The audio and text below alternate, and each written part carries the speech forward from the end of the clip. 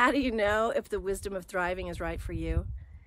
Maybe you're at an inflection point in your life and you're looking for a place where you can stay connected to nature and things more ancient so that you can be assisted to take the next right step forward. Maybe something's calling to you.